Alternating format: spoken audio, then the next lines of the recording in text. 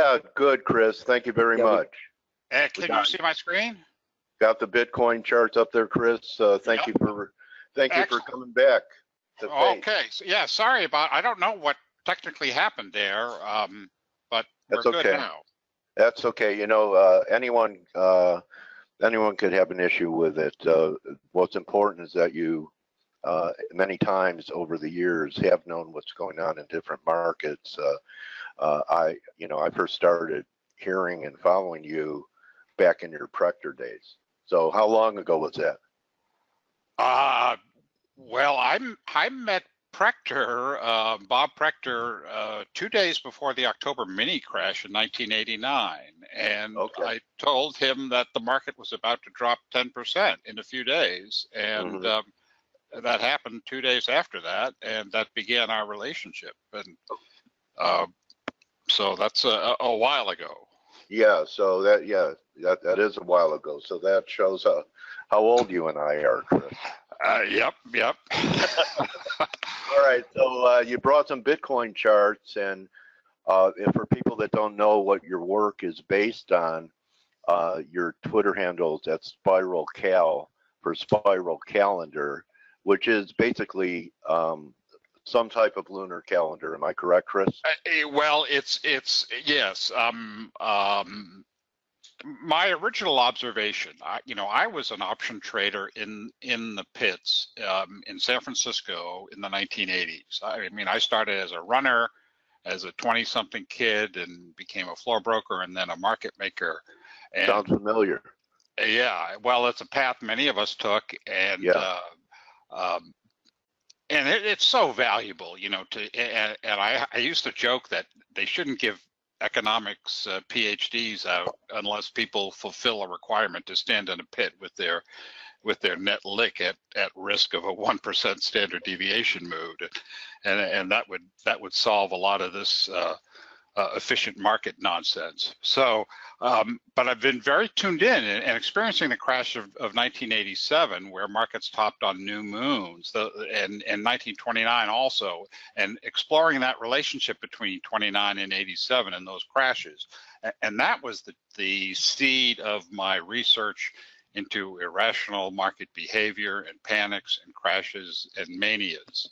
And, uh, you know, this this Bitcoin chart, uh, uh, I I looked through the charts that I showed the last time we talked, Dale, and I don't know that was September, October, and uh, I showed this chart um, in our last interview um, about how Bitcoin had a tendency for these blow-offs to uh, peak on new moons, and um, you know subsequently here's here's what happened in December Right. um, when Bitcoin, the the that the high of highs, that just complete crazy mania we witnessed, and uh, the top tick was I think about 17 hours uh, ahead of the of the new moon, which was early in the morning of the 18th of December. So, um, but but the spiral calendar is is something more than just just the lunar phases. And uh, here's here's really the, the the quick and dirty of it um, Nice. which is ultimately what Bitcoin did, it- which was to to form what I call a, a perfect spiral, that tremendous parabolic move um, into that new moon high. Now, uh, these distances, these numbers, they represent we're measuring time in uh, lunar months, uh, and Okay. and in lunar months, these distances from the lows all to this full moon are square roots of Fibonacci numbers. Uh, I mean, here's the actual Fibonacci sequence, and this Right. is the actual uh, distances from these lows, each one, and it just the entire. The only one that missed was was the uh, the eight, um, you know, and that should have been right about here, and we accelerated off of that.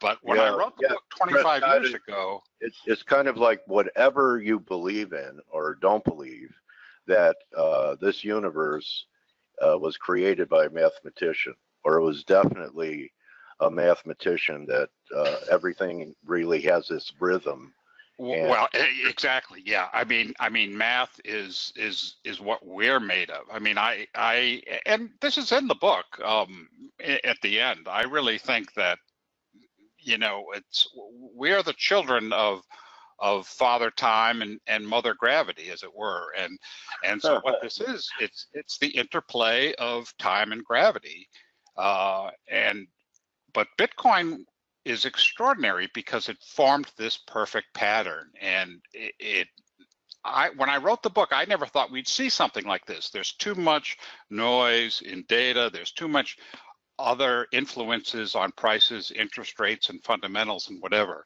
But when Bitcoin came along, it was just pure emotion.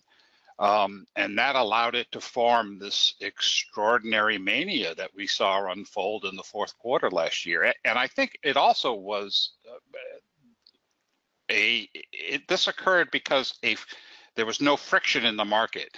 And um, I don't know if you follow. Oh, yeah, you couldn't short, really short it. You really couldn't short it until, Like, you couldn't Right. short it, but also the this tether business. I don't know how much you know about these tethers, which were I, I played printed out of thin air.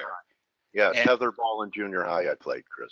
and and and th- these tethers that were linked to the dollar in a sense were printed and they they produced a, a frictionless situation that allowed it to you know it, it- it's like blowing hot air onto a flame and you create a furnace and you get higher temperatures. So um, there was no chance for for the for the parabola to break early. It was just it had so much fuel to it. But what was fascinating is once the spiral was complete they kept printing tethers. They printed them in January like they were going out of style, but it no longer mattered because the psychology of the market had had flipped. The the irrational uh, mania had ended. Okay. Can I ask you something? Uh, did Gann, because you know Gann, and I, I know that you're you you probably studied some of W.D. Gann because of your time work. Did he use lunar lunar calendars because he believed time was more important than price? I- Uh, you know, I don't know. I mean, I I followed Gann. I went down that path for a ways, and then I said, I'm I'm making my own path. So okay, cool. uh, You're a maverick, man. a little bit sometimes. So that's a beautiful example of yeah, you know, perfect. Uh, maybe it's more like tulip mania than any of the other market events that we saw, or do you just see uh, this being uh, a parallel to like 29 inequities? And Oh, I th- I think this. I mean, this was unusual i- because this market penetra- was able to penetrate much further. You know, um, okay, people all around the world can trade Bitcoin. There are exchanges in you know hundreds and hundreds of exchanges. There are no minimum requirements. Uh, there there are people trading you know two dollar accounts and and and trying to scalp a penny. Um, so it, it it really has a tremendously large input of of data. You know, I just think the whole Bitcoin time series has been a has been an extraordinary piece of data to study for uh, fear and greed behavior. And and I mean, I I just want to point out, you know, that there are there are nine points of reference here, nine lows that all relate to this one, fo- what I call the focus point of the full moon. So, you know, these 10 points, there's just no way that this is a random accidental um, occurrence. And and most importantly, the fact is it, it fits the structure that was outlined in the book that I wrote 25 years before this this happened. So the, this spiral was a a tremendous affirmation of the work I did years and years ago. You know, I thought. Okay, so full moon lows and new moon highs is Well, what well, that's- is the way you Uh, look at yeah generally the the full moon and the winter solstice are are negative influences summer solstice new moons are positive but it's the timing relationships and these these spiral constructs that that start affecting things and um uh, yeah so that's Okay. that's kind of a short thing. But I, I also want to talk today about some other aspects of irrational market behavior and and some other inputs. And um, so this is kind of interesting. The the blue is the S and P 500, and uh, uh, this dotted line is just raw tidal data from uh, Battery Park in, in New York for, for 2018. And um, it's it's pretty extraordinary. And I'm this tidal works. You know, a fellow named Robert Taylor wrote a, a novel called Paradigm, and uh, in the appendix he has so this interesting approach to markets with using tidal data, and and so I um, that's the basis of of of what you're seeing here. And then I've you know kind of gone on from there, but. Um, we're in this period both you know bitcoin is one example the s&p is another example of just very very irrational behavior and and this type of analysis is very effective when everybody's irrational but then there'll be you know months and months or like 2017 when this type of work doesn't doesn't uh, sync up at all and markets are not irrational and people are are just all kind of you know calm and collected Interesting.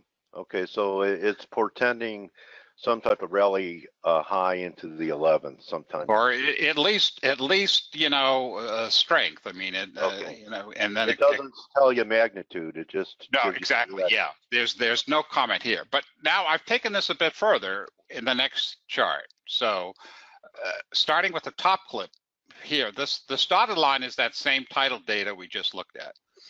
Now the blue, this is my Solunar model, and we all see seasonal charts where they take, say, the last 20 years of data, average it, and say, this is the seasonal chart for the Dow, say, when it'll be weak in October, it'll be strong in January or whatever. But my Solunar model is it's a seasonal model. It's the same seasonal data, but it's only constructed from years that have the same lunar phases as this year. So um, if Wow. if the full moon is on the, the 30th of March, then the only uh, inputs into the seasonal model are years where the full moon is close to the 30th of March. So we can see on the top, we can see those years, the, and the tides will be similar in those years, but not the same because there's there's many inputs. But the circles really show us the periods where where the tides and in past years seem to have been effective. So and, and those were translated here to the arrows. And now the so this line is a sum of these two values. It's a weighted sum of both the Solunar model and the tides. Uh, so that gives me, I call this sort of my combo. And then here's this year's uh, Dow plotted against that. And um, yeah, so this is that rally up into around the 11th, that relative strength, not looking at extent, but just just. Ex- Right. But we can see it's it's really been it's captured that rhythm very very well. But, but again, I want to make the point: this works during irrational periods, and then when things calm down, this will go completely out of sync and have zero value. Um, but it is just fascinating, and it really though points to the idea that that it is these lunar and timing influences are um, the cause, if you will, of the irrationality. Um, someone on any- Twitter. Yeah, uh, I was, yeah, I was just thinking, Chris, uh, if you see any similarities between one, as I look at your different models for a peak, I believe, you know, around, you know, the 11th of April, I believe the top in the, in the market was around the 11th in February. Is that true? Uh, so is there a parallel in 87 when we peaked in, uh, August and had the crash two months later in October? that we're peaked, we peaked in February and we could have, uh, April could be the kickoff of a massive decline?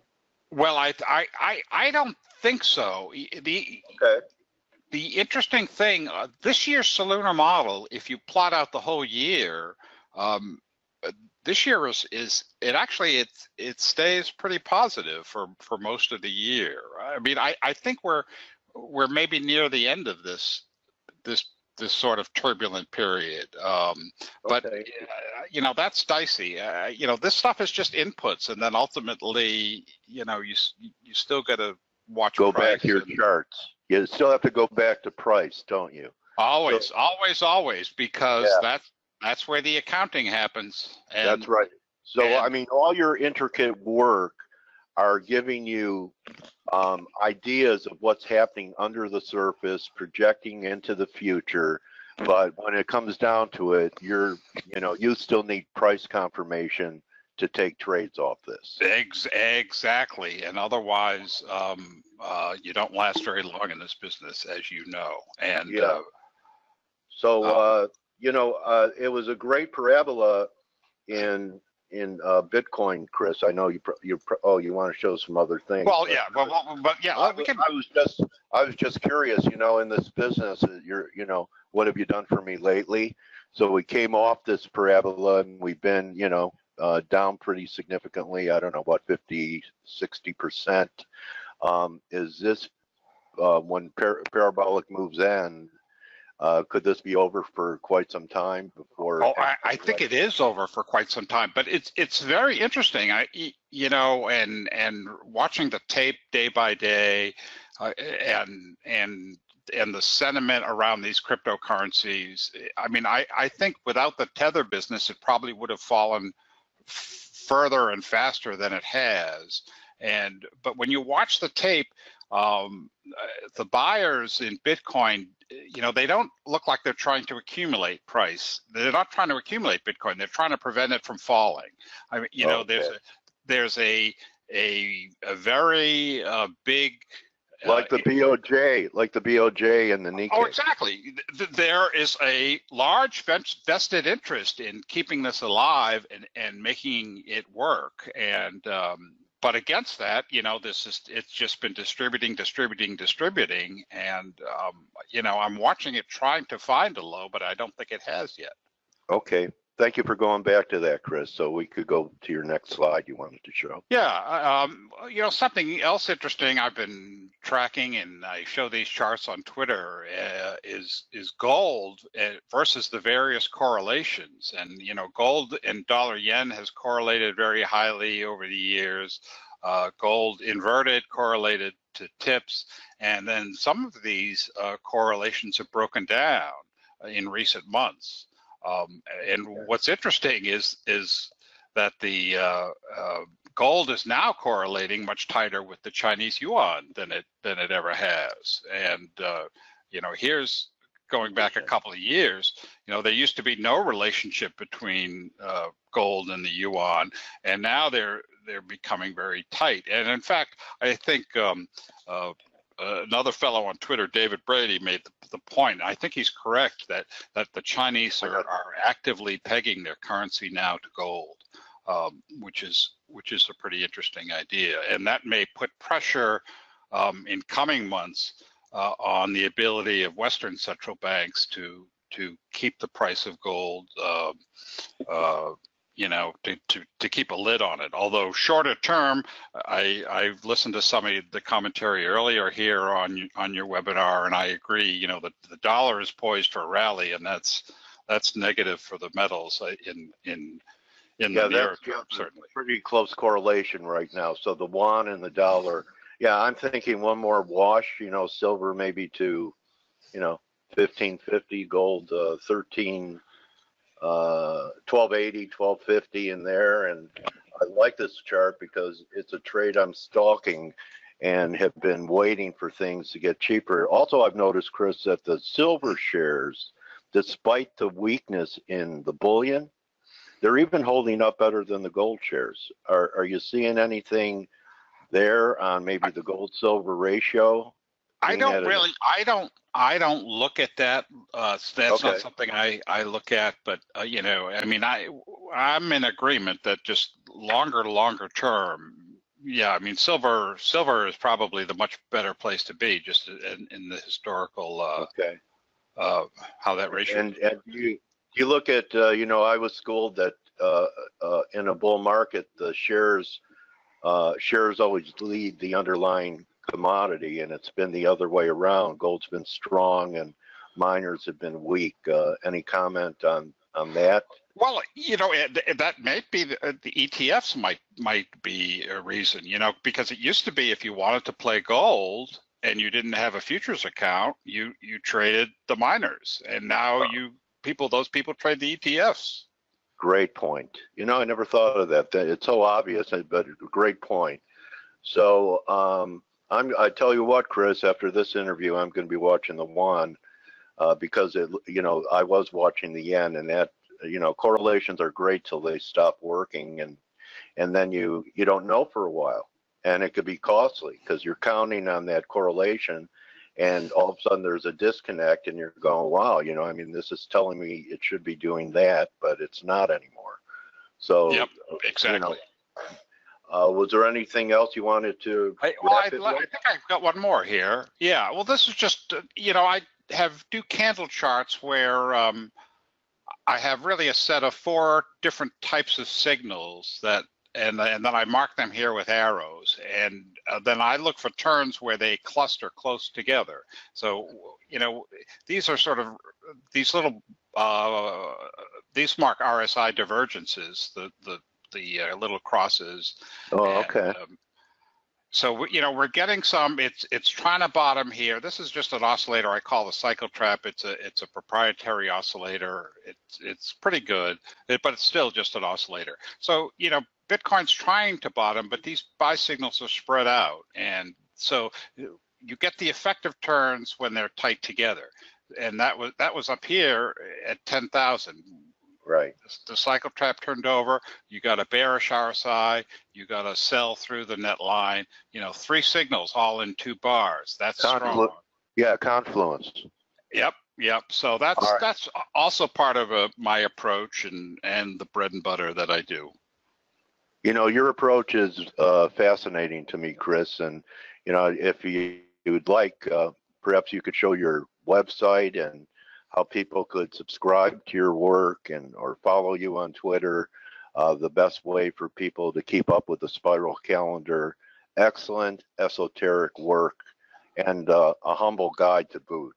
So Well, uh, yeah, I mean, uh, I don't know. Yeah, I I take losses on my trades all the time, Okay. and we all do. And if people who don't admit it run away from them.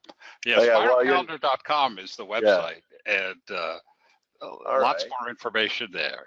And there's some free. You can read the chapter one of the book, the Spiral Calendar. Uh, you can read chapter one of the book there, and you know that book. It's been out 25 years, and the copies are starting to get scarce. If you don't have one, um, i- you might Wow. want to add it to your bookshelf. Yeah, there won't be another edition, so it's going to Well, there's going to be there's going to be something, but I I don't think I'm going to reissue the the original book as is. I think that was sort of a classic. I think that there's going to be something, but it'll be different. And I want an autographed copy. uh, if you can get an, uh, uh, yes, um, if you order the book through Amazon, just shoot me an email and say I'd like it autographed, and we can. All right. All right. Well, Chris, uh, thank you so much for coming back, and I hope we could do it again, maybe late summer, early fall, see what uh, the skies are telling you. I encourage people to have an open mind to the rhythm of the universe that Chris Carolan has the pulse of and some really interesting looks underneath the surface of either a candle or a bar.